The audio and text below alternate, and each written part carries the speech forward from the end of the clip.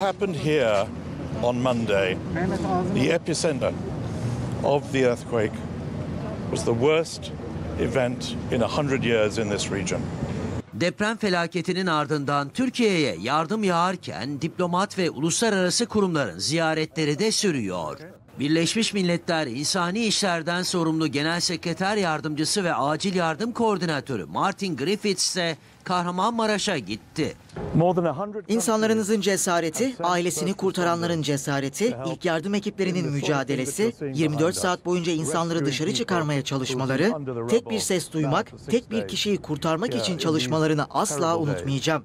Gelen yardıma vurgu yaptı. Yüzün üzerinde ülke ilk müdahale ekiplerini bizim arkamızda gördüğünüz işlerde yardım etmesi için gönderdi. 6 gündür enkaz altında kalanları kurtarıyorlar. Griffiths, depremzedelere yardımın arama kurtarma çalışmalarıyla bitmediğine vurgu yaptı.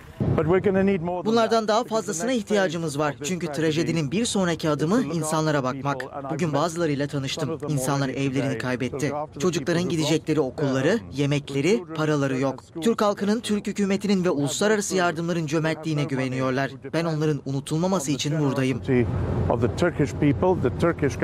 Birleşmiş Milletler Genel Sekreter Yardımcısı depremzedelerle de görüştü. Çocuklarım hastaydı. iki küçüğüm. Dördü on geçiyordu. Şurup verdim çocuklarıma. Ateş düşürücü soğuk uygulama yaptım. Ateşini düşürdüm. Işığa baktım. ışık sallanıyor. Gittikçe arttı. Ben hiç kalkamadım çünkü bunlar hasta yatıyor. Ve çocuklarıma böyle elimi koydum. Allah'ım emaneti senin dedim. Eşvedi çektim. Başka hiçbir şey yapamadım.